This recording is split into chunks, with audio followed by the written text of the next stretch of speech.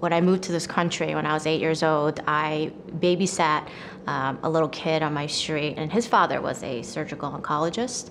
And um, he was nice enough to take me into his operating room at a very young age. And uh, I remember the first case was this huge colorectal surgery, and I thought it was the coolest thing. So the, after that, I was sold. Most people who come to see me have diseases of the head and neck with a thyroid gland and parathyroid gland. So they'll notice something, or their primary care physician notices a growth in their neck, and then they get further workup, um, which includes an ultrasound, physical exam, and uh, sometimes a biopsy of these nodules or lesions.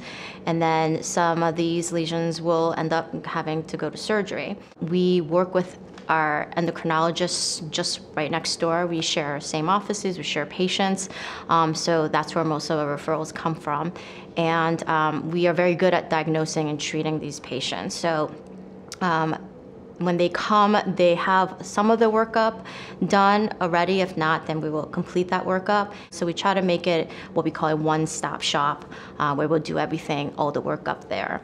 And if they do need to schedule surgery, then um, we will do that um, along with our consultation.